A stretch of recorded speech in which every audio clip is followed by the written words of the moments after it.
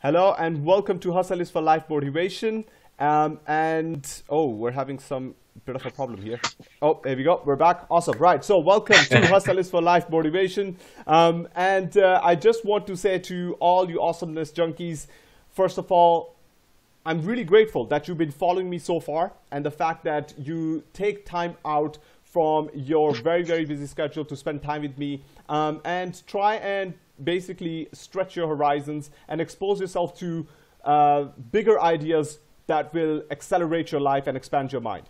So today, I want to start off by asking you a question. Have you subscribed to the channel? If you have not subscribed to the channel, pause it right now. Go down, and there's a button down there that says subscribe. Can't miss it. It's a big red button. Hit it and subscribe to the channel, okay? Let's start a relationship. Let's get digitally married and let's start a relationship, okay?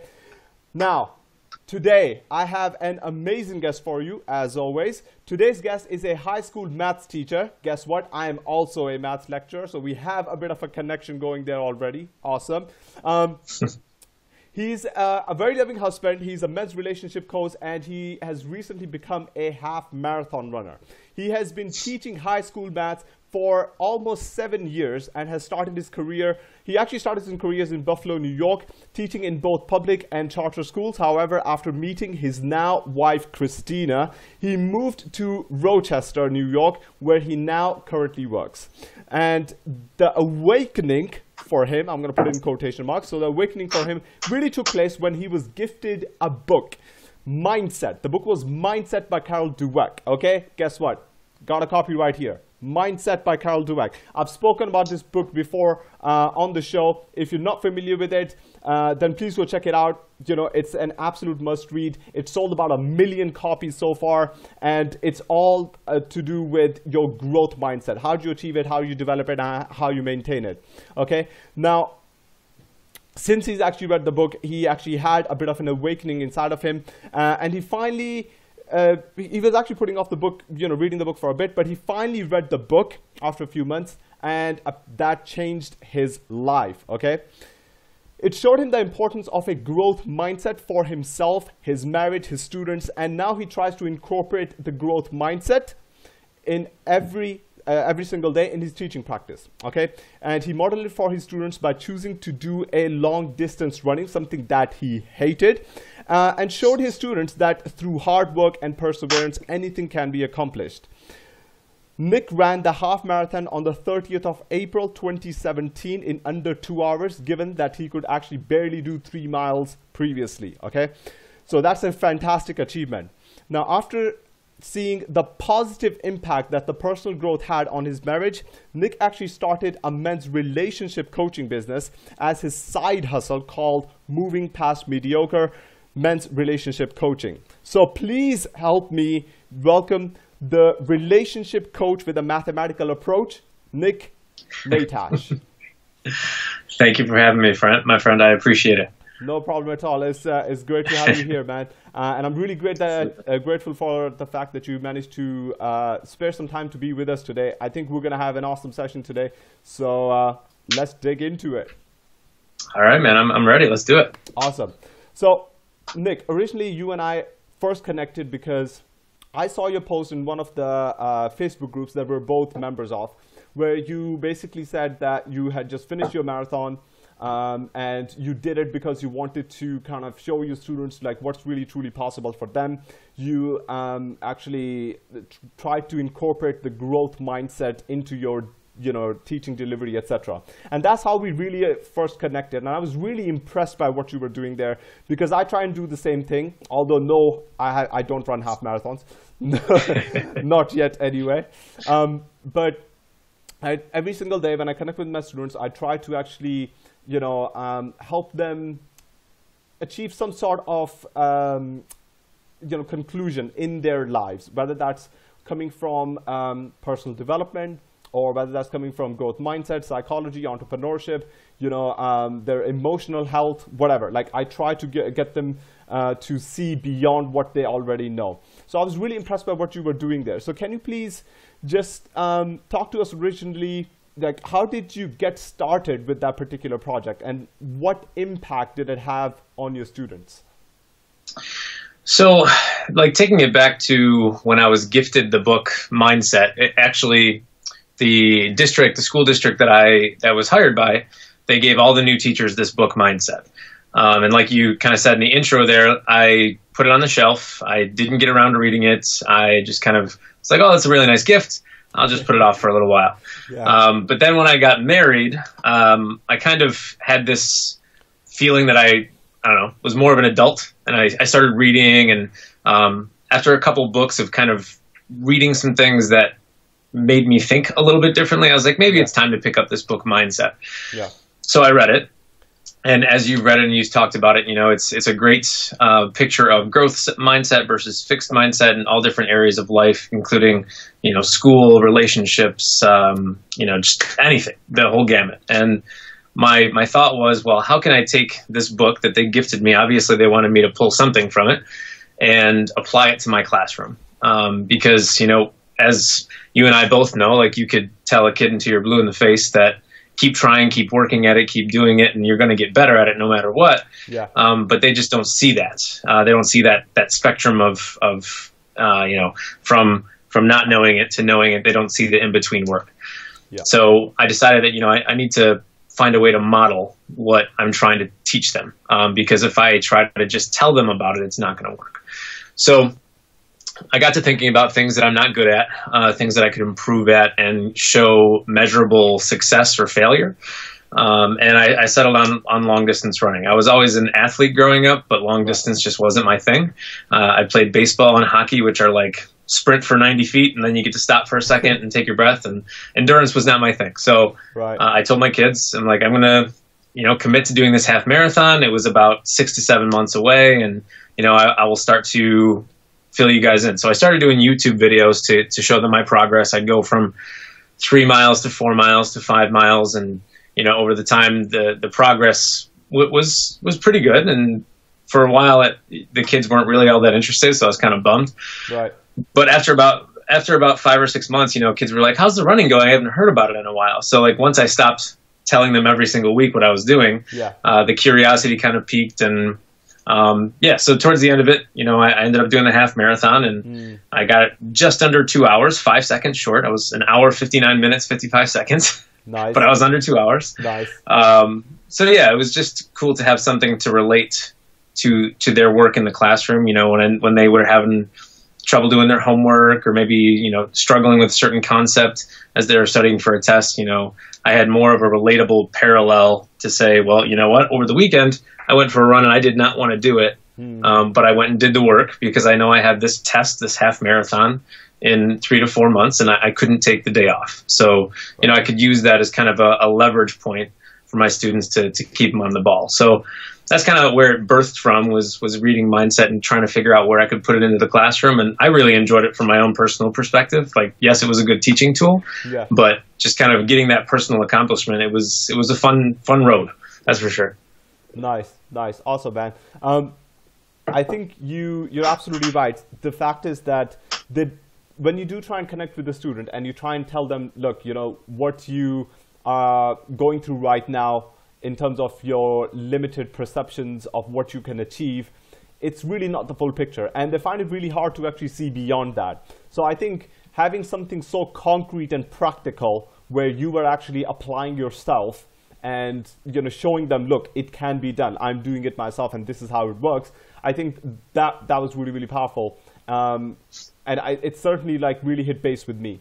And i like i mentioned before don't do any half marathons but what i do try and do is talk with my students you know on different aspects. So for example we'll talk about the fact that you're the average of the five people you spend the most time with okay? Mm-hmm. so let's make a list of your five and i'll you know tell them like i've made a list of my five so what do your five look like? Have they managed to achieve the same level of success that you want to achieve? Have they managed to hit the, all the goals that you have for your life? If not, then well, maybe time to upgrade your five. So how do you go about doing that?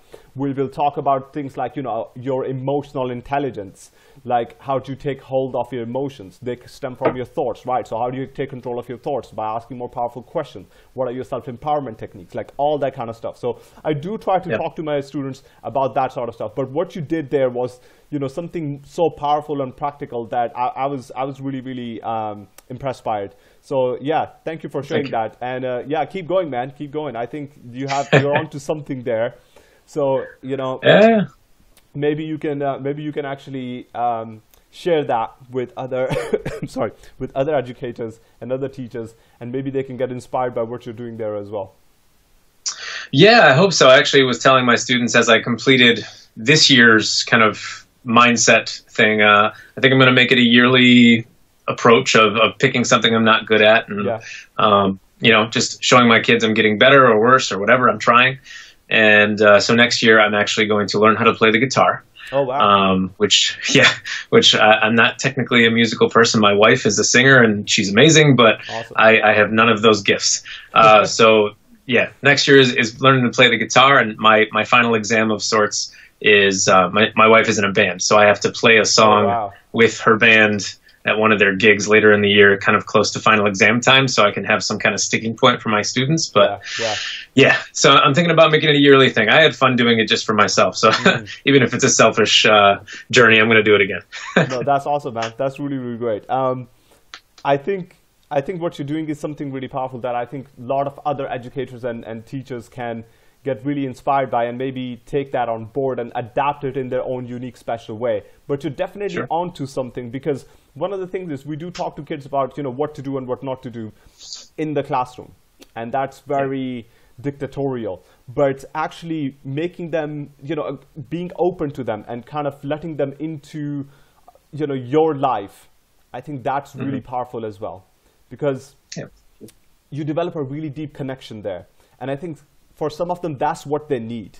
Because one of the things that I discovered, you know, over the past year and a half since I've been, you know, teaching, um, is the fact that sometimes you're the only real person in their life, right? Which mm-hmm. is really sad. But sometimes you're the only real yeah. person in their life, and you know, something small that you say can have a major impact for them because they're they're literally starving for that yeah. And I've certainly seen yeah, like some definitely. massive changes in some of my students, you know. Like at the start of the year they were you know, really poor behavior, no engagement, you know, um, have no aspirations, no goals, etc. And then by the end of the year, they're like at the top of the class. They're hitting like some of the highest, you know, uh, marks on, on, on like in that group. So fantastic. Sure. And I think That's you're awesome, definitely man. onto something there. So keep going, man keep going. Will do. Thank you. Thank you. Awesome. Okay, so you know, you said you talked about the fact that you read Mindset, and like you know, you you say that it kind of changed your life. Can you maybe describe that process? Like, how did reading that book change your life? Uh, you know, and um, the Facebook group that we that we both belong to, some people have kind of gone back and forth about this book. Some really love it. Some are just like kind of repeats the same process over and over yeah. again. And I think that's what I like about the book is that it repeats the same concept, but it just puts it into different areas of life and applies it and shows you different research and things like that. So yeah.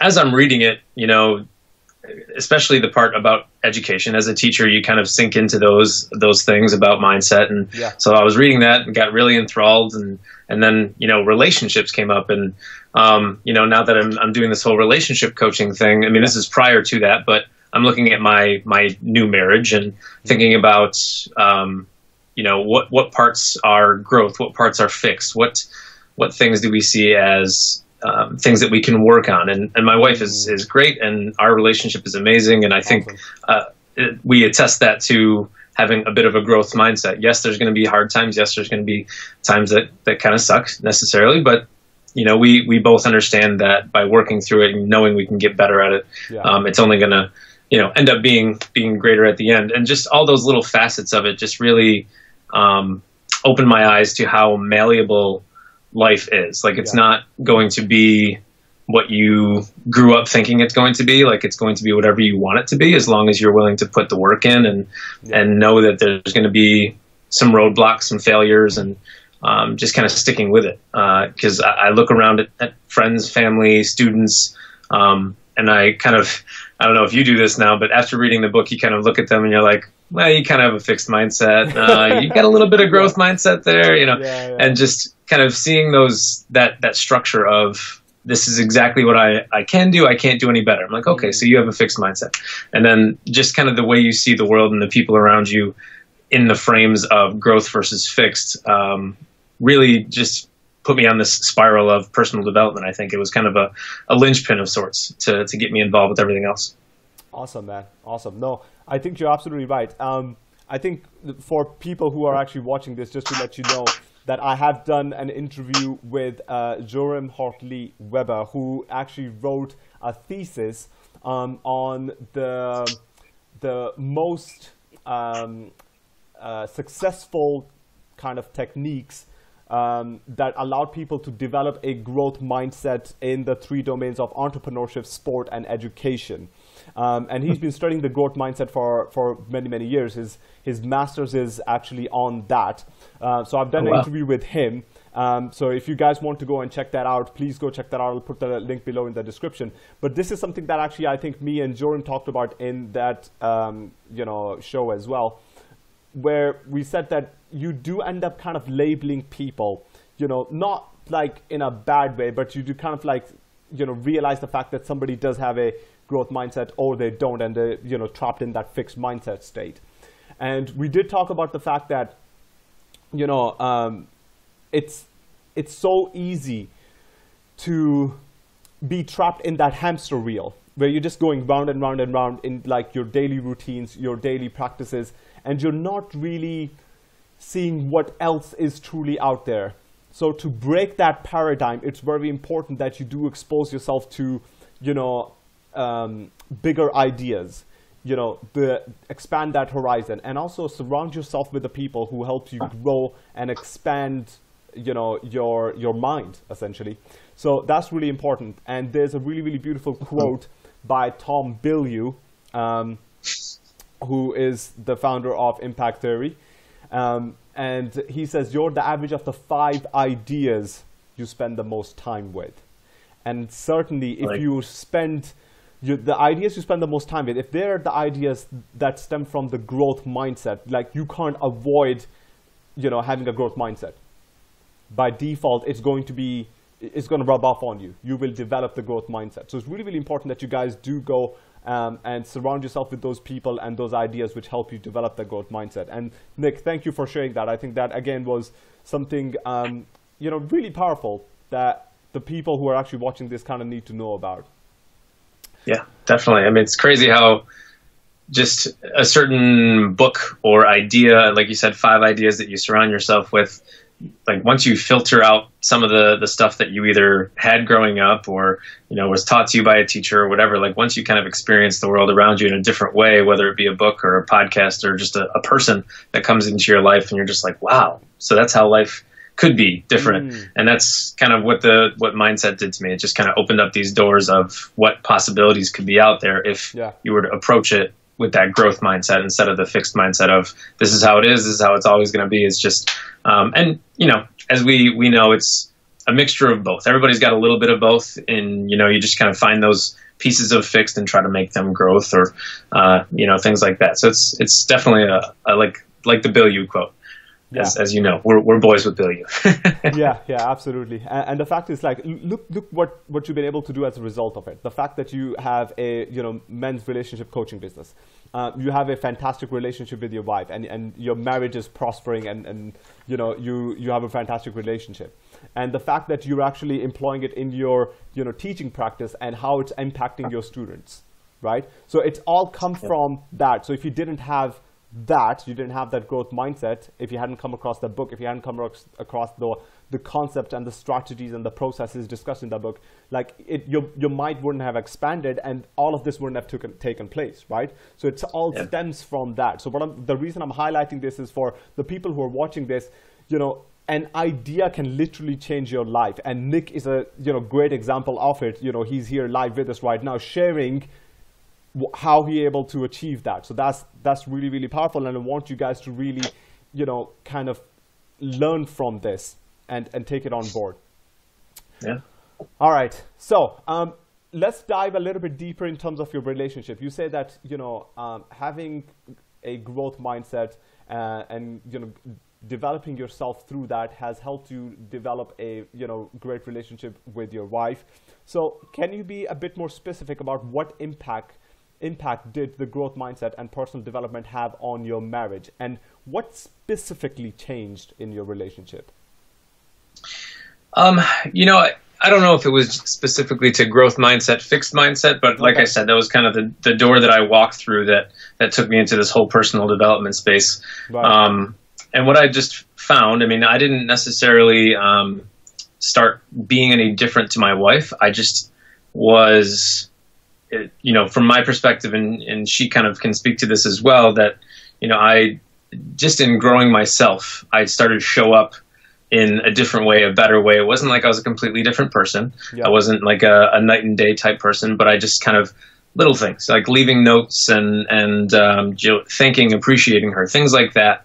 Um, just by improving myself, the relationship kind of kind of it permeates into the relationship, um, and and she shows the appreciation for that. And I mean, she's she's taught me a lot about relationships in general, uh, even before personal development. Uh, and like I'll say that until I'm blue in the face, but yeah. it's just, uh, and this is kind of the angle that I take with the men's relationship coaching now, mm. is that you know it's yes, it's a dynamic of two people. It's interpersonal when you have a relationship, but if you can work on yourself, yeah. if you can um, kind of just develop yourself personally and just work on things that that can improve your mindset, your physical health, your emotional intelligence, things like that, it's going to improve your relationship regardless. It's not uh, it's not going to be a detriment. Um, and if it is a detriment, then maybe it's not the rela- right relationship for you because if you're stepping into who you truly are, mm. then and then your your relationship should take off from there. If it doesn't, that means the person that you're with might just not appreciate who you really are, and that should be a, a red flag of sorts. Um, but yeah, it's it's the personal development space, just kind of coming into my own and kind of realizing what I want to do and, and where I want to go with this life, and for her to be my uh, you know my, my, ride or die person until until it's, it's all over. Um, I'm just grateful that I have her as that person because she just you know appreciates everything about what I do and what I bring to the table and and how our kind of uh, back and forth and and um, you know push and pull of the relationship works. And um, i know it would be different if i had a different girl by my side. So yeah uh, that's that's kind of how personal development has changed the game for me. That's awesome man. And uh, sorry. I think you know again what you shared was really really beautiful. And i think you're you're kind of reminding me of uh, of a saying that i have which is that relationships are not about the withdrawals you make but the deposits you make.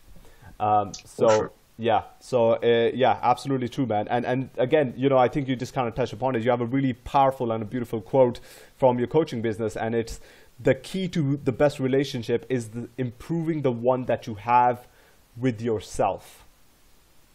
Yep, for sure. and I, I came across that quote, and I, again, really powerful, really hit base with me. Um, can you maybe deconstruct that for us? Like, what does that quote really mean? Um, so it kind of goes back to um, I don't know if you've dug into my blog or not at movingpastmediocre.com, but um, it spurns from this blog post that I had a long time ago uh, called "Be Selfish," right. and I mean I, I purposely made it a, a, a tagline of sorts that would get people kind of pissed off. Yeah, like be selfish. You're not supposed to be yeah. selfish. Yeah. Um, but it, at the same breath, like being selfish is just taking care of yourself and worrying about yourself. And um, it's, I'd had relationships in the past where um, I had made it so much more about taking care of the other person, um, serving the other person, and it was almost to the point that I was kind of a martyr in the relationship. Yeah, yeah. Um, hmm. And you know, those relationships had their ebbs and flows, but at the end of the day, you know, they ended because I, uh, you know, I didn't have, I didn't feel any self worth in those relationships. Right. Um, and then, you know, when I when I met my wife, um, and this whole personal development thing on top of just the person that she is, like, yeah, I I knew that, you know, the reason that she wanted to get married was because she wanted to marry Nick Matiash, and it wasn't because you know, she wanted to get married, have kids, have a house. Like that wasn't the goal. It was yeah. to, uh, she really appreciated who I was. Um, and so that's kind of this angle that I have is is if you can improve yourself, if you can work on yourself to the point that you can, you know, filter out all the people that aren't going to like the person that you are. Mm. If you can step into your true self and and be the the person you want to be, and you find that person that understands, appreciates, and loves you for that, mm. then you're golden. It's it's impossible to mess that up. Um, so I know there's a lot of relationship coaches that you know coaches that will uh, talk about the interpersonal part. They will talk about communication, which all of this is important. It's not to say that I won't touch on those things with my clients, but um, I, I, find that at the base root of it all, if you can't, uh, if you don't know what you're all about, if you're not developed in a way that you can appreciate the person across from you, then there's no point in doing it anyway. So um, that's that's kind of where the quote came from with the the be selfish blog post and just kind of understanding where I was with my current relationship and comparison to other ones. It was just yeah. kind of a culmination of that into one sentence. nice, nice, awesome. Yeah.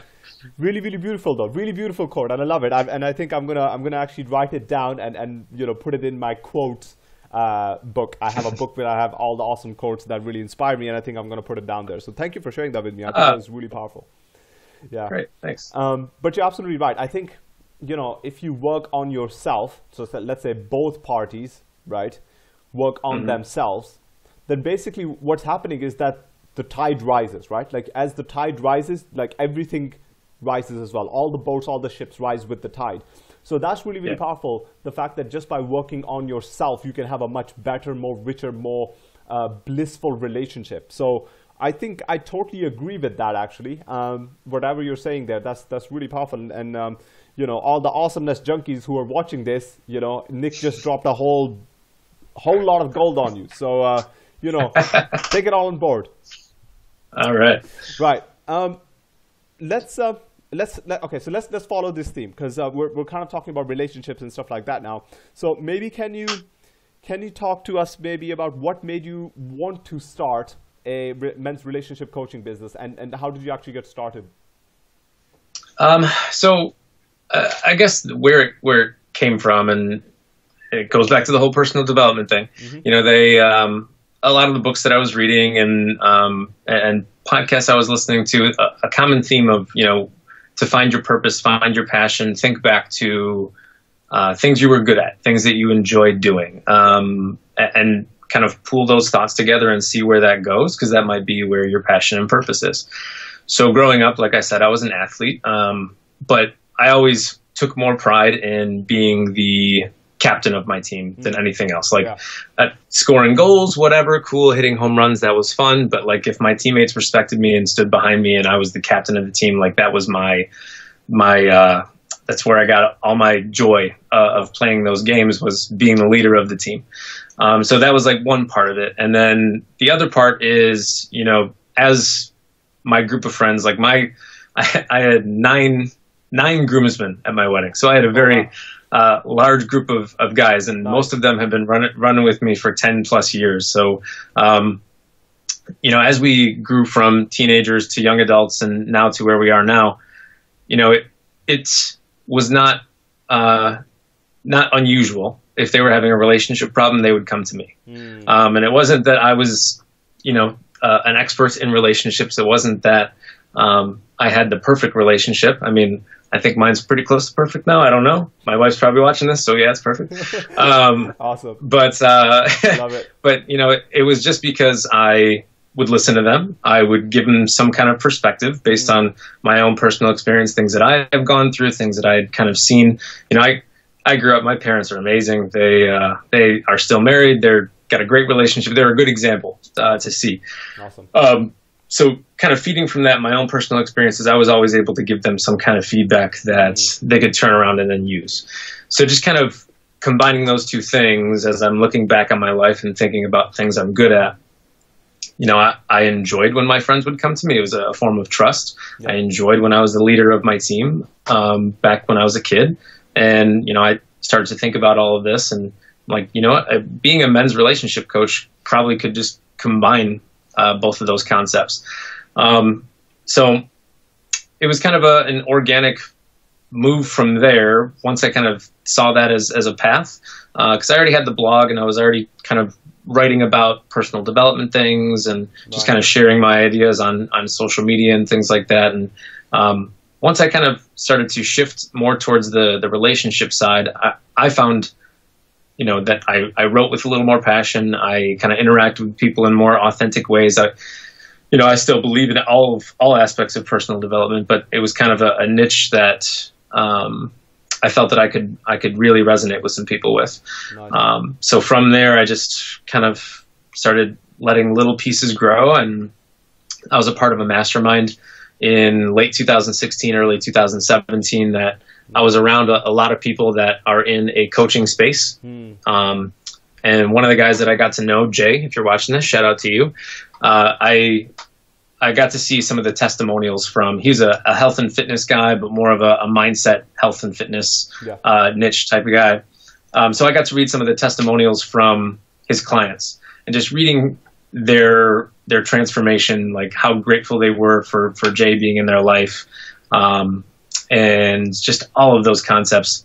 I I was like, wow, I want to do this for for guys I mean, even females of those guys that are having these struggling, like I want to have that kind of impact nice. on people where they want to turn around and say, like, I'm so grateful that you are in my life yeah. uh, because you, you turned around my relationship. You made me, um, you know, figure out what I wanted to do with my life. All of like those things. I'm like, that is just reading them gave me chills. And I was like, I want to do that for somebody. Wow. Um, so from there, that was kind of the ignition of, I really need to, to put this, uh, put this in play and, and let it happen. So, over the last six months, it's really just kind of been an organic growth of sorts, just letting some people into my world that that uh, just might need some advice. And, and, and as of right now, I don't know when this will go out, but uh, starting June 12th, we're doing a six week free masterclass on uh, nice. just some of the things that I've come across of relationship secrets, things that, mm. you know, are common ideas, but maybe not um, fully understood that we can go through in six weeks. And I'm going to try to get a group of six to 10 guys and just, you know, rap about these kind of things and, and try to do what, uh, what I, I, would like to do is, is transform their relationships and, and really um, bring myself to the table in a way that I can get those kind of reactions and, and really help them out in, in the best way possible. So that's kind of the, the birth story of the, the relationship coaching and, and I'm really enjoying it now that, that I'm kind of hitting full stride, but we'll see where it goes from here. That's great, man, and congratulations for getting started and, and you know making it grow and uh, you know seeing all the success you are so far. That's fantastic, and um, you know I think I think you're you're somebody who holds who holds himself to really high standards, and I think holding yourself to really high standards means that everybody around you they they will also start to hold themselves to higher and higher standards. So I think you going into coaching seems like the perfect kind of thing that you need to be doing because you're somebody who has that kind of influence. You know, you have the personality, that magnetic personality that you know um, kind of permeates awesomeness onto other people, and I love that. So yes, that's uh, that's grand. That's beautiful. By the way, are you are you familiar with Jovan Langford? You know what? I feel like I listened to a podcast with him recently on maybe School of Greatness. Was he on School of Greatness recently? Uh, do you know what School of Greatness sure. is with Lewis Howes? I'm not um, sure. I, am familiar with Lewis Howes. I'm familiar with the, the you know School of Greatness, but I'm not sure if he okay. was on there recently. I haven't I haven't checked out the the recent podcasts. Um, okay. I've definitely listened to something with right. him on it before. Okay. okay. Um, so I'm aware of him. Yeah. Okay. Cool. Because. Uh, he uh, he has uh, he has a very interesting perspective. He he's uh, um, his perspective is that uh, most of the problems in society are because of dysfunctional men. So uh, I think. I mean, I can't disagree. yeah. So I think we're weird beings. yeah. I think um, I think you know um, you you can you could maybe um, you know reach out to him and, and, and that could be that could be quite an interesting relationship there because he also works with men and he he uh, I think identifies himself as a men's empowerment coach. Oof, I like that. I hope he doesn't have that copyrighted because I might I'm gonna have to grab that. well, you know, check it out, man. Check it out. I'm, I'm just uh, I'm just trying to uh, think outside the box here. I, I, I did actually bump into him um, during um, an event in London uh, in December 2016, and I wonder if I, oh, wow. actually have his contact details. If I do, then I'll, I'll see if I can set something up. I, will see if I can set up a connection. I'm not sure if I have his contact details, but if I do, I'll, I'll, hey, I'll set up a connection, man. Yeah, sure. I would I would appreciate that. Thank you. Yeah, no problem. Um, okay, so you you talk about the fact that you know you this this process of actually you know starting a business was pretty much quite the next natural step for you, right?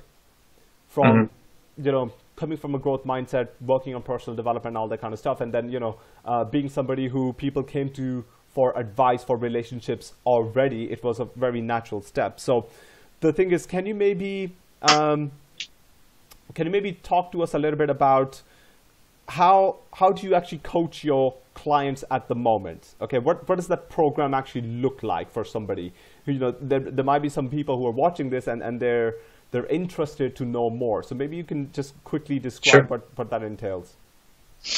So, like I said, the the concept is working on yourself and letting that permeate throughout your relationship. Yes, there's going to be some interpersonal concepts of it, but the main focus is, um, and it's kind of a, in a mastermind setting. It's more of a group setting okay. because I feel like when you get guys in a room and somebody starts talking about their weaknesses, somebody on the other side of the room is going to be like, "Oh, I've had that same problem. This is what I did with it," and we can all spin on that together, yeah. rather than me just trying to preach. Um, because, like I um, actually, it's funny that we do, we're doing this today. I was talking to most of my groomsmen yesterday via group text, right. and um, they were like, "Well, you're not like you, have only been married for a couple of years. How are you an expert in marriage?" Mm-hmm. And I was like, "I'm I don't know everything, but I've experienced some things, and the way that it's set up, the way that the, the coaching thing is set up, I'm trying to bring in a diverse group of men that can really help each other out. Mm-hmm. And I'm really just a facilitator. Um, and, and you know, I've done enough personal development where I can see where the rabbit holes need to be gone down. Mm-hmm. Um, but I guess the the general kind of weekly basis thing is every Sunday there's a weekly reflection form that I send out to them cool. that just kind of talks about their big wins for the week, um, some challenges, whether it be relationship or otherwise, um, and uh, what goes along with that? Oh, just trying to take that challenge. I always think it's important to find your challenges and find a little bit of gratitude in those challenges, just so you can put a positive light on them and and really, you know, find a way to work with it. Uh, I think looking back, a, a, lot of us will look at some of the major moments in our life and, and think of right before that was probably something pretty crappy. Yeah. Um, you know, just from my own personal experience, that's that's what I've uh, always thought. Yeah. So, you know, just with all those challenges, understand that there's going to be a certain portion of that that we can work on it and call it a positive. So the weekly reflection form kind of goes through all of that and then also sets them up with I have this I call it a purposeful productivity system that I've put together uh, over the last couple of years or so that it kind of maps out their week and certain levels of importance that they kind of need to get to. Nice. Um, so uh, I don't know if you've ever read Seven Habits of Highly Effective People, but it kind of plays to that. Uh, yeah. Okay. So they uh, Stephen Covey goes into these four quadrants of um, high level of importance and urgent, high level of importance, not urgent, um, low level of importance and urgent, and low level of importance and not urgent. So it, it kind of breaks it down into certain quadrants, and then we lay it out throughout the entire week, making sure that some of the high importance but not urgent things get done every yeah. single day. Yeah. Because, you know, to get those far off goals, those far off things that we want to to accomplish, mm-hmm. a lot of us do the things that need to happen in the next 24 hours, but we don't think about what we want to get done in the next month. Yeah.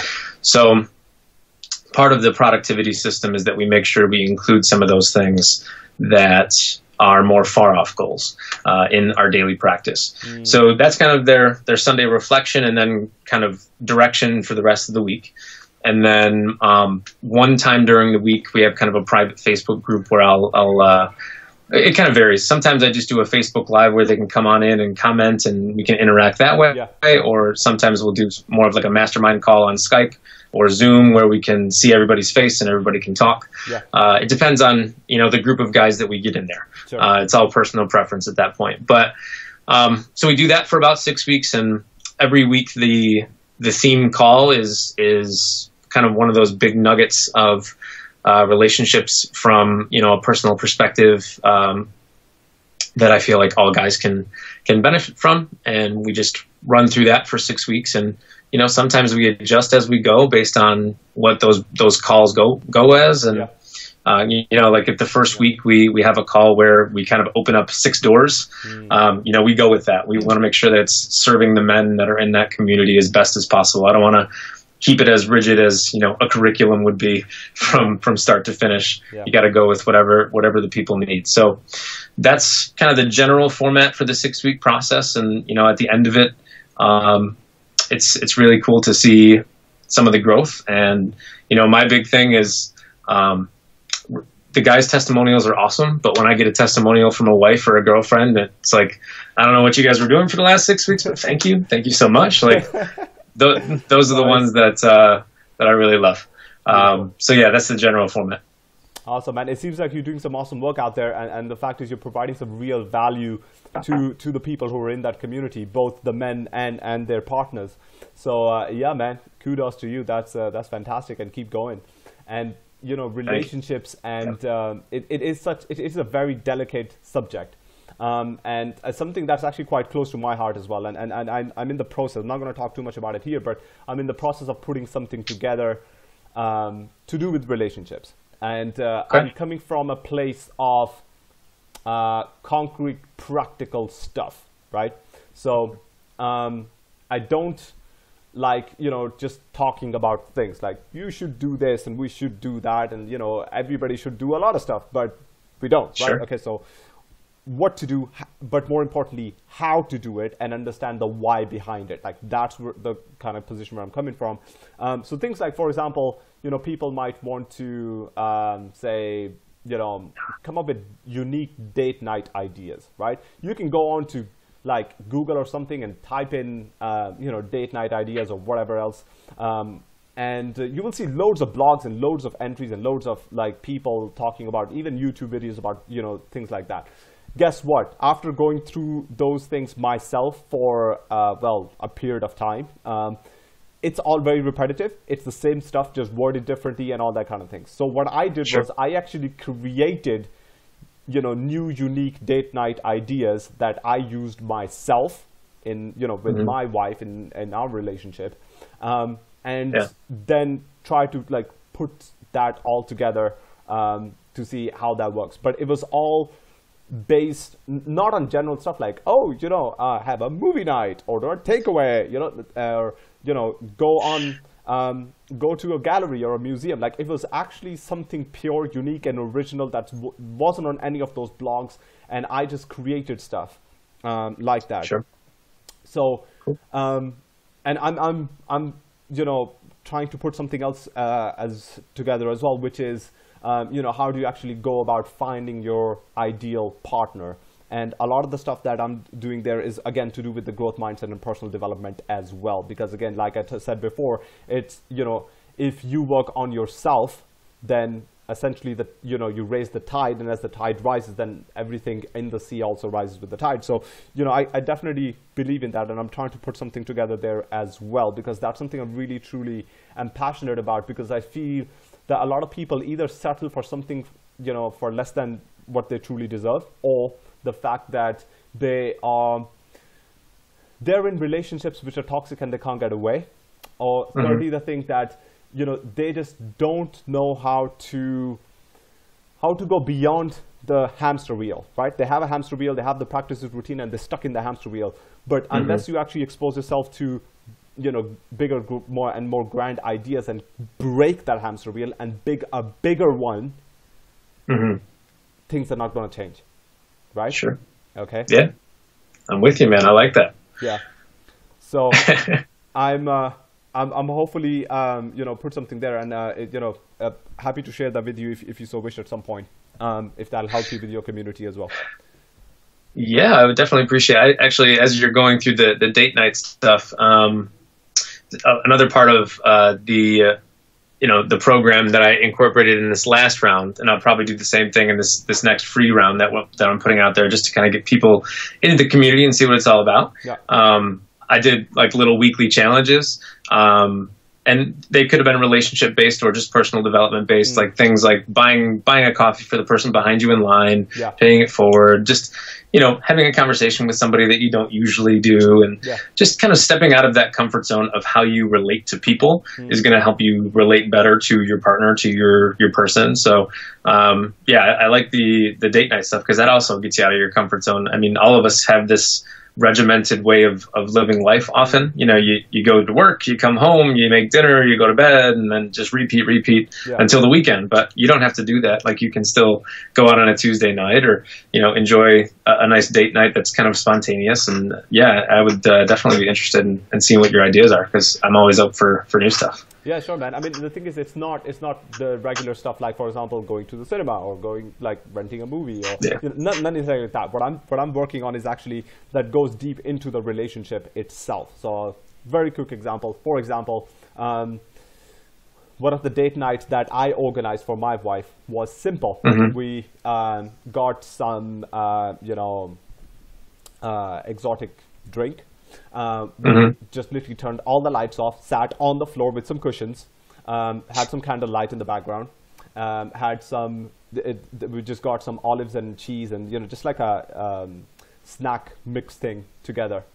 Okay. And the idea behind it was that um, you have to you have to tell the other person something that you think they um, they might not know about you. Now we've we've been married for like seven years here. All right, so okay tell them something unique, something different, and if they I'm sorry, if you tell them something new and different, and they say actually I don't know, I didn't know that thing, then they get to say what they want from the mix. So they'll say, for example, I want the cheese, I want the black olive, the you know green olive, whatever. So then you have to close your eyes and uh, you have to actually use a skewer or like um, cocktail stick to you know blindly try and pick that thing and try and feed that person. And if you get it right, if you get it right, great, you're off the hook. Otherwise, you have to go again and tell them something else that they think.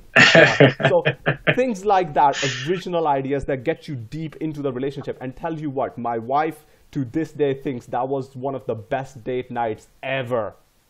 Yeah, Yeah. i like that it's uh that's cool maybe i'll have to do that tonight Try it. try my friend. and you know, all you awesomeness junkies out there as well, try it. Let me know how you get on. Because for me, it was fantastic. my wife was just like, this is like beyond anything. we- We had a lot of fun. Like literally, we were doing, you know, usually date night lasts till bedtime, but literally this was till we went on till like beyond midnight. And We were just sitting there playing this and Great. having fun. It was so great because we were connecting at such a deep level. Um, it was phenomenal. So yeah, definitely Awesome. worth a try. yeah yeah i'll look into that my friend Yeah. So it's things like that that I'm, I'm, I'm trying to put together and, and share with people. So um, yeah, I mean, we can um, talk off, you know, off off camera and, and you know go deep in that if you want. Um, Sure. Anyway, guys, we are here with Nick Matiash, and he's just been dropping uh, a whole lot of gold, a whole lot of value on us. I hope that you'll be finding it all this useful. Okay, he is the relationship coach with a mathematical approach, and he is going really, really deep, and he's sharing some awesome stuff with us. So I hope that you really, really find value in this. Um, okay, so let's let's keep going um, with this. How do you think that coaching other people positively impacts your relationship? You know the uh, I I do Facebook lives like every other week or so just to kind of. It often happens after I go for a run. I'll have just random thoughts as I'm out there for an hour or so. Right. But um, you know, half the stuff that I, I put on, on social media or I blog about, it's really reminders for myself. Right. I'm just putting it into a context that other people can digest it. Uh, it's just like journaling. It's just more public, I guess. Um, so I think anything that I do from a coaching perspective, you know, if we talk about communication or, um, you know, doing small tasks uh, for your for your partner or understanding the five love languages, things like that, like it just reminds me that I need to go back and reread things Yeah. and and kind of observe my own relationship in that way a little bit differently. Um, so yeah, it's it's really, and I don't even uh, know what the quote is or what the concept might be, but I've heard so many people say, you know, when you learn something great, if you write it down, great, um, but you really get an in-depth understanding once you start teaching it to people. And I mean, you can understand this as a teacher as well. Like, Yeah, yeah, I, I understood algebra when I was in high school. I got it. But now that I taught algebra for seven years, like the little intricacies of it all, you know, it's just like it, it's it's so automatic to me, and I can understand those. And my kids say all the time to me, like, "Why do you like math? I don't get it." But like, I Yeah. just I just have I such a yeah, such an intricate understanding of it now that I've taught it for seven years that I can just see kind of the magic of it. Mm, Um, yeah. And I think Yeah. you know the coaching thing can be the same exact way for me. So I mean, it's it's almost a selfish uh, a selfish position that I'm in where I'm kind of saying things that. As I'm saying, them, I'm like, oh yeah, I should probably go tell my wife that I love her. uh, you know, um, so yeah, it definitely impacts our relationship because it reminds me of things that I, um, you know, best practices that I need to incorporate. Nice, nice, awesome, man. Yeah. And um, yeah, you're uh, you're absolutely right. The fact that you know, uh, just just to touch upon the math side of things, kids ask me the same thing. Why why did you become a math teacher? You could have had any job in the world. Why did you become a math teacher? Uh, why do you Right. like math? So yeah, no, I, I totally get that. Um, and uh, you know, just going back to what you said about understanding, I think most of the time people just know there's a difference between knowing and understanding and i think that, uh, for me this is this is really powerful most most of the time and most people just know stuff you don't really truly understand stuff until you until you actually are able to successfully teach somebody else that's where Sure. understanding comes from and there's a really beautiful carl sagan quote which every time i think about it sends chills down my spine and it says understanding is a type of ecstasy now notice, he- like yeah, he did not say teaching is a type of ecstasy. He did not say knowledge is a type of ecstasy. He didn't say learning is a type of ecstasy. He didn't say knowing is a type of ecstasy. He said understanding is a type of ecstasy. And you, I, to, to me, that's so powerful. But I absolutely believe that you don't truly understand until you're successfully able to teach that something to somebody else. And that's where Completely true agree. understanding comes from. Yeah, definitely. Awesome, man. Fantastic. So, um, guys, if you're watching this and any of this resonated uh, with you, then uh, I'm going to put all the links and the details to contact Nick and find out more about his relationship coaching program, you know, down below in the description of the video. Okay. Um, and uh, what we'll what we'll do is just ask. What I'm going to do is actually challenge you guys on this because I genuinely want you to reach out to Nick and you know talk to him. Just just send him a message, okay? Start a relationship, start a conversation because I think what he's doing right now is absolute magic and he has a lot of value to add to pretty much anybody because you know he's hold himself to such high standards that if you're actually in a relationship with him there's just no way that it won't rub off on you okay so i'll highly encourage you guys and challenge you guys to go ahead and contact nick all right and just start a conversation okay let's uh, let's let's let's take it in a different direction um, Sure. we talked a lot about relationship and stuff, but I, I want to go and go back to your uh, teaching practice. Can you maybe um, talk to us about how specifically do you incorporate personal development and growth mindset in your teaching practice?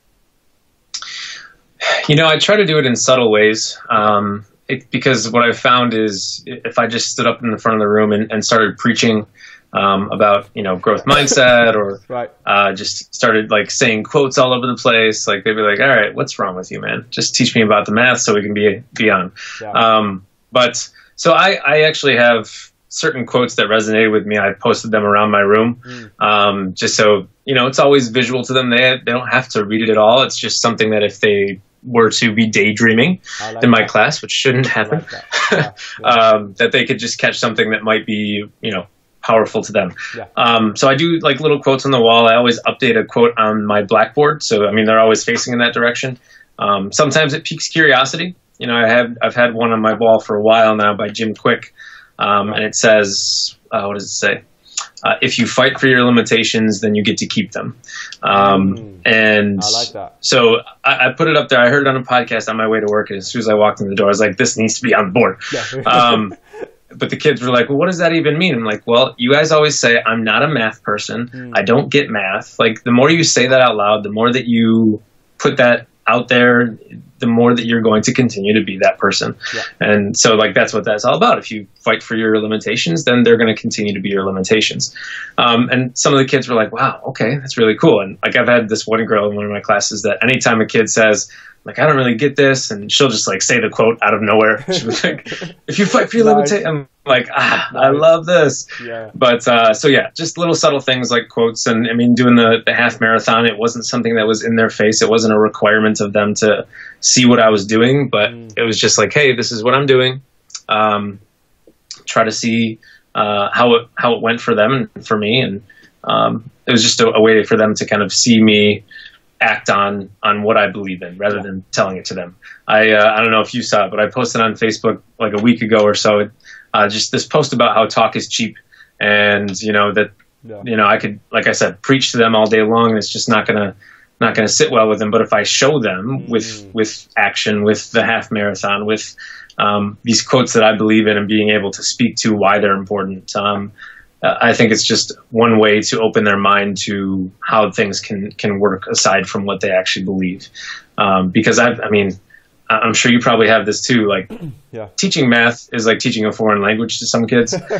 and I'll have I'll have parents come in for parent teacher conferences, and they'll say, "Well, you know, I I know that they're not good at math because I wasn't good at math." Mm. like, okay, so this is this mindset of of you know this limitation of I'm not a math person is being passed down. No wonder they think that they're not good, and they might not be good right now. But by telling themselves that, it's just not helping out.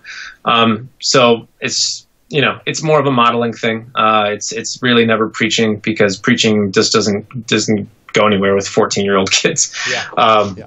Yeah. So it's just really showing them what what uh, what can be done with it. I mean, my my wife actually said. Uh, because I got nervous. A couple of my students followed my my moving past mediocre Instagram account. Oh wow! Um, and I was like, well, this is a little uncomfortable. I don't think I want them. I mean, there's nothing negative on there, so it's whatever. But she was like, maybe it's good that they see you not just being a math teacher, but doing other things too, like showing them. Mm. You know, they're going to be on Instagram anyway. So if they see a quote that you post or a video that you put up of you running at four in the morning, then like great. It's just yeah. another facet of your action that they can get they can observe.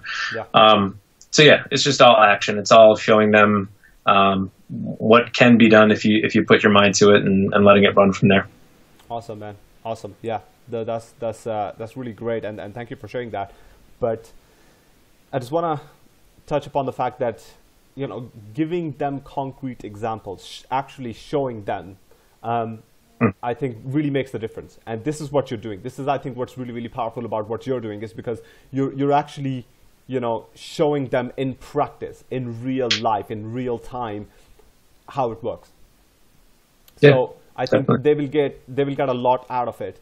Um, and I think it's a it's a very special thing where you know, like you said, that that girl just shouts out that quote, you know. And I have that experience as well. But some of my students are just like, yeah, you always tell us like, you know, you're the average of the five people you spend the most time with. So like when they start, you know, quoting, you know, your quotes back to you, you're just like, okay, so this kind of might be going somewhere, you know? All right, you're paying attention. You're paying attention.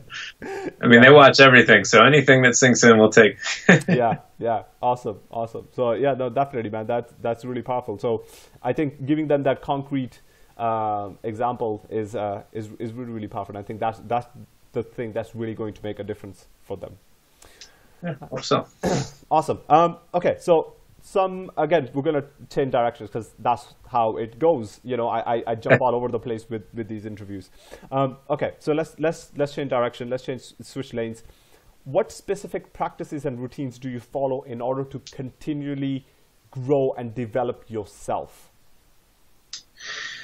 Okay, so like I said, the I, I did a mastermind um, in late December. Well, it was like early December through January of 2017. Yeah. Um, and prior to that, I had like a morning routine and everything. Um, I, I, would get up and I'd read and I'd meditate and I, um, you know, just random little things that you hear in books or you read in books that yeah. might be helpful. So I was doing a couple things here and there. But once I started the mastermind, we kind of uh, it was an expe- expectation of everybody in the group to we called it the Daily Six. So Tommy Baker, if you're watching, shout out to you in the Daily Six. but uh, it was let's see, it was meditation, Right. um, reading, it was fitness, um, it was you call it purpose. So like anything that you're working on towards, you know, for me it might be the coaching program or my blog or something like that.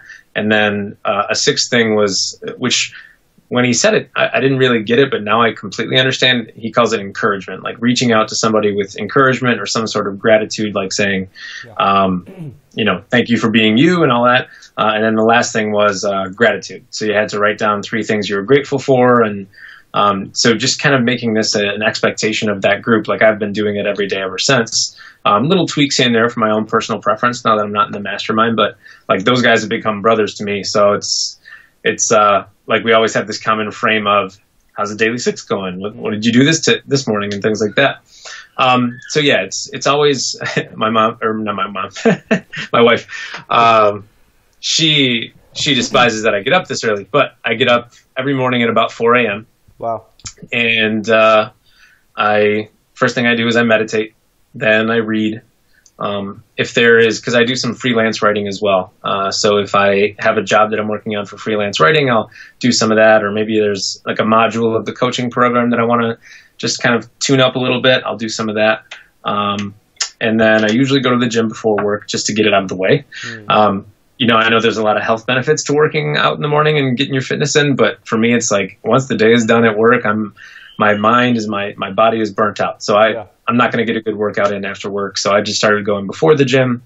So it's really just kind of making that space and time before the day gets crazy, um, because a lot of us will find excuses to not read, to not uh, work out, to not uh, meditate. Like I made it my 90 day goal from January 1st to meditate every single day until March 31st. Nice. Um, and I hit it, and I've been going ever since. Like I haven't taken a day off of meditation all year long, which Awesome, like it uh, awesome. it's not a, a huge chunk of my day. It's like 10, 15 on the weekends. I'll probably hit a 20 minute one just because I have a little more time. Yeah. But just having that space and that reflection and doing all of these things uh, before kids come in and, and are screaming and at 7 a.m. in the morning and all that stuff, just taking that time for myself, it kind of just builds blocks throughout the week, you know, because if you try to sprint through something that you're trying to get through, you know, a certain deadline or whatever, if you wait till the day before, it's just not going to happen. Yeah. Um, so it's really just daily practice of, of waking up, doing these things, and and doing the best I can with them. Uh, because I over time I know it's going to pan out, and it might take six months, it might take a year, but at some point, like all the stuff that I'm doing today, all the stuff that I'm like, I'm going to look back at this podcast, and be like, remember that time? Remember that time that I did that podcast? um, and and how how I've grown from there. So it's it's really just a daily daily practice and um, just doing the best that I can every single day. Fantastic. That's awesome, man. Uh, by the way, did you get all of this, the, the daily six, um, from the Miracle Morning? You know what? I I don't know exactly where Tommy got everything from. I think his is kind of a hodgepodge of things that he'd learned, kind of like what I was speaking to, finding things that worked well for him, um, and then he kind of crafted into this daily six routine. Uh, that that we kind of made it into a little game. Like we would always tally up how many pieces of the daily six we completed, and then yeah. like at the end of the week we'd we'd share our scores. Um, I'm sure he got some of the concepts from the Miracle Morning or something along those lines, but uh, yeah, I'm not quite sure. But it, it worked well for me. I enjoyed it. cool, perfect. But I think that that's a that's a really, really, really good book, really powerful book. Um, that even if you want to share with your uh, coaching group, um, you know, I think that that'll be really, really beneficial there as well. Um, yeah. yeah, yeah, definitely. I, I'm just wondering because the six things you were talking about and everything like that, just like, huh, that's Hal Elrod. Um, but yeah, yeah, yeah, that's. Uh, I think that'll be pretty cool if you share it with those Yeah, guys. If you haven't already, that is awesome. Now, in Yeah, terms of definitely. You meditation, for let's. Sorry. Oh, go ahead. Go ahead. Okay. No, I was just saying, in terms of meditation, let's dig a little bit deep there because I'm a big fan of meditation. Um, and uh, I use actually guided meditation. I use an app called Headspace. Um, it's one of the best apps out there. I love it. And uh, I also have a brain training program that I go through. I also have an app that uh, has uh, hypnosis. Um, so it, it, it induces like you know altered states of minds and all sorts of other stuff. Uh, so I use a whole combination of things. But what what kind of specific meditation practice do you use? And is, is there some kind of tool or app or anything like that that you use to help you with your meditation? So I used to be a Headspace guy. Um, I, I, loved Headspace. Mm. Uh, it was so the the daily or the the ten pack that you get when you started it. Yeah. Um, so I did that for a while, and then they had some promotion where you could do three months for ninety nine cents, and I was like, why not? It's only ninety nine cents. So I was doing that for a while, um, and then I discovered this app called Insight Timer. Okay. It's um, it's got a combination of guided meditations, and then there's a space where it's just some kind of uh, musical tracks, uh, instrumental tracks for more uh, unguided meditations. Okay. But it's free, and it's kind of it's got a community of like thousands of people that meditate, and it will tell you like how many people are meditating with you and which ones they're doing, and um, it's kind of just a nice community of people that are, are meditating and, and consistently, and it's kind of cool that it, it tells you how many days in a row that you're meditating and, and things like that. So that's my go-to.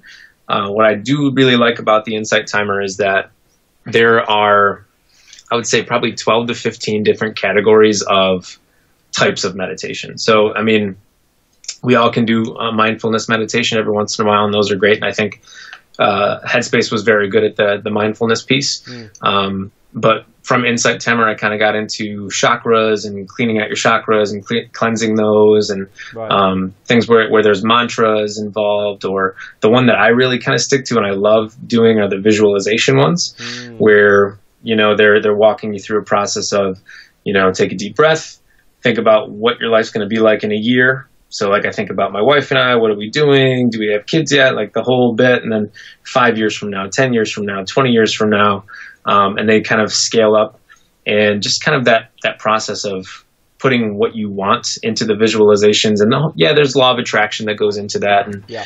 you know i'm i'm not a devout believer in the law of attraction but i definitely think there's something to it there um, that can't be ignored so the visualization stuff has uh, has really resonated with me. It's my my favorite one to do. So I usually save those for the weekend where I have a little more time and I can really dive into them. Mm. But you know, usually about ten to fifteen minutes during the week, like a mindfulness one or a gratitude one. But Insight Timer has been my main go-to. There's a few things on YouTube that, like the Abraham Hicks method. I think. Have you ever heard of that? No, I haven't actually. Okay, That's so it's new. it's always fifteen okay. minute fifteen minute chunks. It's the same woman every time. Okay. Um, and hers is a lot of law of attraction stuff as well. But okay. uh, I, I, did that for a little while, but I'm kind of on the insight timer kick for now. Cool, cool, awesome. Um, thank you for sharing that. And uh, you know, ladies and gentlemen, and boys and girls who are watching this, meditation is something really, really powerful. And uh, uh a testament to that is if you know uh, the Tim Ferriss show. To, on the Tim Ferriss show, Tim Ferriss interviewed like literally the top performers from, you know, all fields and he's interviewed like 100s mm-hmm. and hundreds and hundreds of them. Um, and uh, he then actually wrote a book called Tools of Titans, where he actually combines the best practices of you know all these t- top performers um, and experts in different fields into one place. And one of the things that he actually uh, says in the book is the fact that meditation or mindfulness practice was you know, incorporated by about 80% of the people that he had interviewed on his show. Okay, mm-hmm. so it just goes to show just how powerful mindfulness and meditation practices can be. Now, obviously, there's so many out there. It's up to you to go explore and you know find the one that works for you. Um, I've talked about a few of the things that I use. Um, you know, Headspace app, awesome. I've talked about it before as well. And Nick's just shared, you know, some of his uh, techniques and tools that he uses. So uh, you know, you have a lot to actually work with just based off, you know, this little conversation, but go ahead and do your own research and try and work out what works best for you. But definitely it is something super powerful and it, you know, it's used by some of the, you know, best people in the world, some of the top performance uh, performers in the world. So, you know, there's definitely something to it, even if you, you think it's just, a, you know, bunch of, you know, voodoo or, uh, you know, um, kind of like witch doctor stuff, but there's definitely something to it. Um, I, I, can vouch for that. Absolutely. Yeah, definitely vouch yes. for that. Okay, so a uh, few quick fire questions because I know um, I'm conscious of your time. We've kind of gone over that hour mark.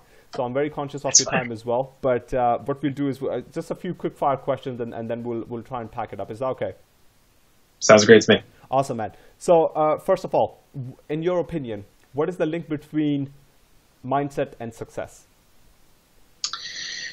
I, I really think that having a growth mindset it, it encompasses so many things that have to do with success. You know, perseverance, um, just putting in the daily work, Uh, um, I mean, it's just it's fantastic just just to look at people that have had success. They're going to hit roadblocks. There's nobody that has a straight straight shot to the top. Um, and having a growth mindset and seeing those things as um, beneficial in some way, uh, I think it's just it, they go hand in hand. I doubt that there's many people that are strict up strict fixed mindset folks that are successful in any way that they want to define it. Mm. Um, I mean, Tom Bilyeu said a long time ago on back when he was doing Inside Quest yeah. that you know when he makes a mistake, he gets giddy because that's his his trigger that thinks or that says to him like I need to work on this. This is what I need to improve, um, and that kind of attitude is is why he is who he is. You know, he he's built empire after empire, and um, I, I, think it's really a testament to a mindset. And I, I don't think there's anybody out there, like I said, that is super successful that hasn't kind of incorporated some some frame of, of a growth mindset in there. Awesome, awesome. I love that answer. And for people who are watching this, Nick has not said anything that you know the other previous guests haven't. All of them pretty much have said the same thing that there's a direct link between mindset and success. Okay, what sure. if you want to achieve you know stratospheric level of success, you need to have a really really strong growth mindset. Okay, so fantastic. I love that answer. Right, let's move on. Um, there's a quote which says, happiness is a choice. What does that quote mean to you? You know, I think it goes back to how you view the events of your life, the circumstances around you, whether they're good or bad. We're all going to get dealt some pretty crappy hands from time to time. Mm-hmm. Uh, and it's just a choice of how you view it. Um, you know, you could, and this this goes back to, to anything. It could be um, you know, a death of a loved one. It, it's super sad. Nobody wants anybody to pass away, but the fact of it is that they're going to. Yeah. Um, rather than focusing on the loss of that person, focus on how much they gave to you while they were here. Um, kind of choosing that and, being happy with that person being in your life is so much more impactful to how that event is going to kind of resonate in your life than than if you were to just you know sit and grieve and be sad. Everybody's supposed to grieve. Grief grief is is you know unique to the person, but when you take a step back and you think about is it good, is it bad, am I happy, am I sad? Mm. You know, you get to choose how you get to view that. Yeah. Um, and that goes, with, you know, with any event. It's it's just a, you know, you wake up and you might feel tired. You might feel like you don't want to go to work. Um, and, and, I kind of posted about this on Facebook the other day. Like I did not want to teach my one class. I was tired, and I knew that they were going to be uh, less than enthusiastic about being there. Yeah. But I just put a smile on and I started joking around with them, and we had a good time. It was a good 55 minute block of of, uh, of math that was taught. It was just I chose to brighten up, do a little bit more, be a little bit more smiley, and it uh, it really you know reverberated throughout the room. And I think that anybody can take that. Um, whether they're going to work or, or going to wherever, just kind of saying, Am I happy right now? I can choose to be happy if I'm not that's really all it is for me. Beautiful.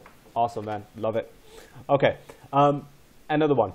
If you were to be stranded on a desert island for a whole year, okay, and you could choose to take any three people that you want in the world with you, okay, apart from friends and family, which three people will you apart from family? Apart from friends and family.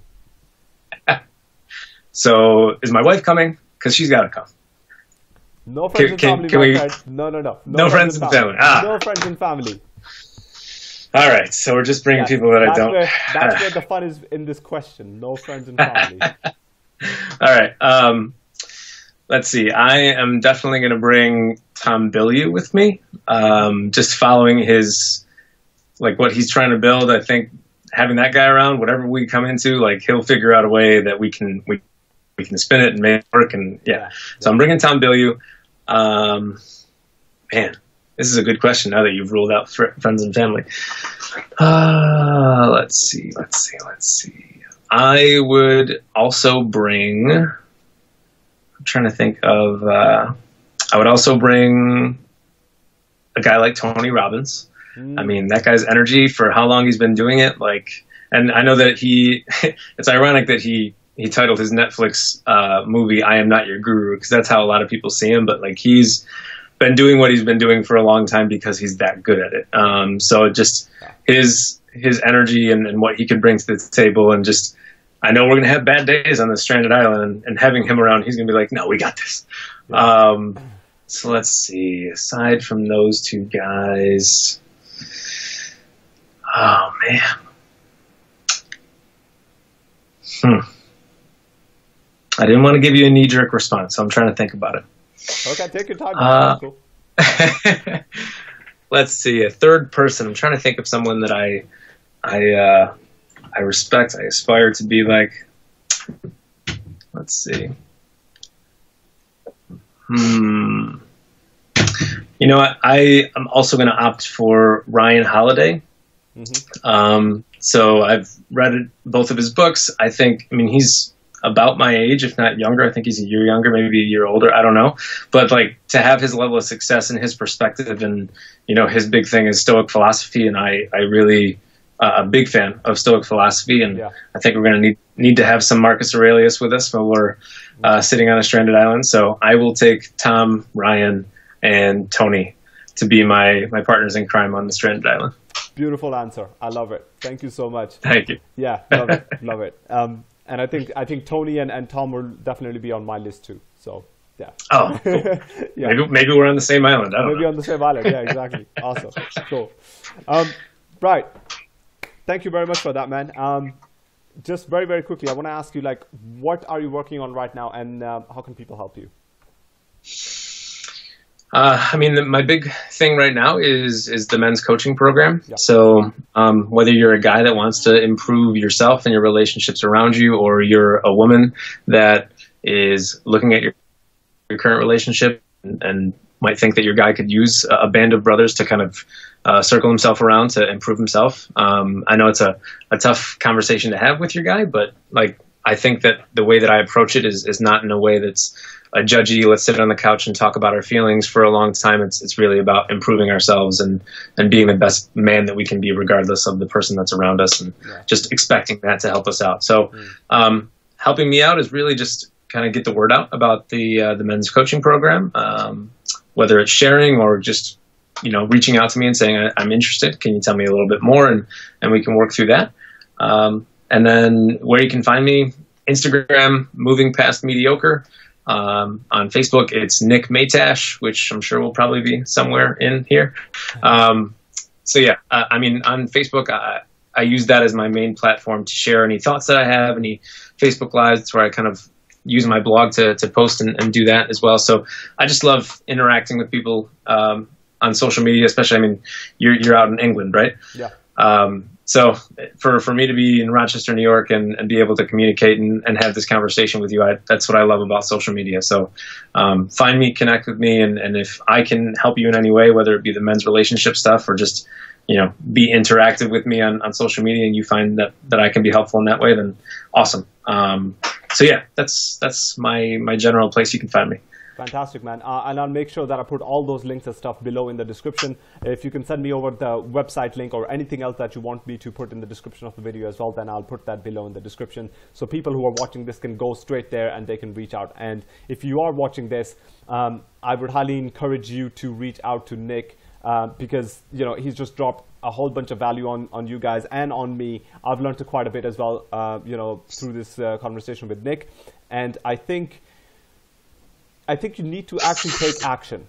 Okay, everything like life happens when you take action. I strongly believe in that. That's one of my quotes. Life happens when you take action. Okay, if you want to accelerate your life, you know, you you have all these amazing guests that I'm bringing on, the people that I'm in a relationship with, so you can start to accelerate your life by actually incorporating, you know, some of their uh, kind of you know psychology and mindset and you know their techniques and tactics and strategies and processes and that will allow you to accelerate your life. This is why i'm actually doing this to actually add value to you guys. So really i will highly encourage you. If you are an educator you absolutely have no excuse because you know guess what? Nick is a math teacher. He is an educator. You have to reach out to him. And if you're a math teacher like that's just like you have like strictly no excuse whatsoever. Okay, that's just like not even fathomable that you won't reach out to Nick at this stage. All right, look at all that he's able to accomplish. Maybe you can like you know learn so something from Nick about how you can incorporate you know the personal development and the growth mindset in your teaching practice. Okay,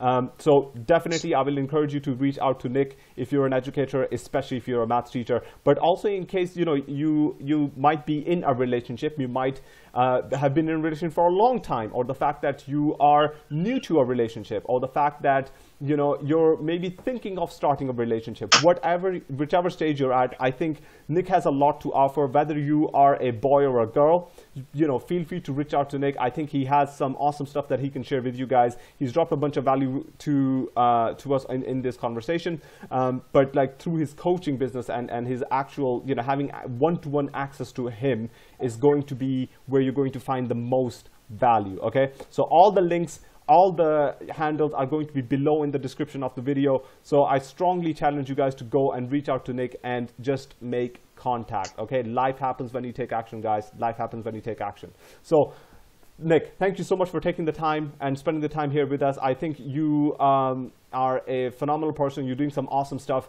You know, keep doing all of it. Congratulations on your coaching business. Congratulations on completing your half marathon. You are, you know, trying to make a real impact in the lives of the kids that you're working with and in the lives of the people that you're coaching through your men's relationship coaching business, uh, both the ladies and, and the men there. And, you know, you have, you, you seem to have a fantastic relationship with your wife. And uh, I just wish you all the best with everything, man. And if there's anything I can ever do to help you, do not be afraid to reach out. I'm only a phone call away. Well, thank you, man. I really appreciate you having me on, and I really enjoyed our conversation. So hopefully, the the people that are watching got some great value from it. Um, hopefully, they found some some tweetables, as as some folks like to say, some quotes they can drop on their friends. Yeah. Um, because that's what it's really about. Finding those little nuggets, like we said in the beginning of this. You know, it's an idea. Once you get an idea in your brain, that that could really open up some doors for you. Hopefully, we open some doors for some people. Um, but yeah, thank you for having me on. I had a, had a great time. No problem, man. I'd love to have you back on later on um, because what I, one of the things I do is that on this channel I follow the stories of lots of awesome people. So I try to you know maybe connect with them and, and, get them back on later on to actually see how far they've progressed, what's going on, etc., etc. So um, I'll be bringing on some of the old guests you know back onto the channel as well, and I'd love to have you back on as well. I think we had uh, an awesome time and an awesome conversation. I think people found a lot of value in this. Um, so I think we can we can go for round two maybe sometime. I would love to. Awesome, man. Well, thank you so much for your time, man. And people, once again, you know, thank you so much for taking the time to actually, you know, be here. I really appreciate you taking your, you know, uh, time from your busy schedule to spend time here with me. And uh, my goal always is to serve you guys to bring on more amazing guests. And um, what I would really appreciate is that if you go and subscribe to the channel just down below, you know, leave your comments, maybe, you know, put in some suggestions on what kind of guests you want to see in the future, and also just engage with the post. Like share these videos with some people who might, you know, be close to you and need to hear these messages, need to be come across these people and these ideas because that's where all the differences. That's where all the value is. Okay, but I really, really appreciate you guys. Thank you so much, and thank you, Nick, once again, and uh, hope to see you guys very soon in the next video. All right, take care, Nick. See ya. All right, take care, man. See ya.